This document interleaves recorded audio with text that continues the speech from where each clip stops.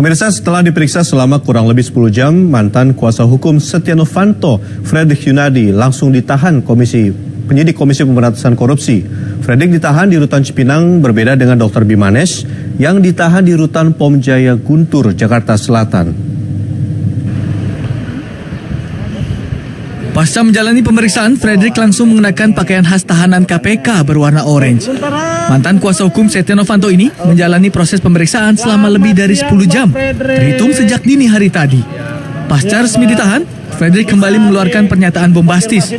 Ia mengaku penahanan merupakan cara KPK untuk membumi hanguskan dirinya.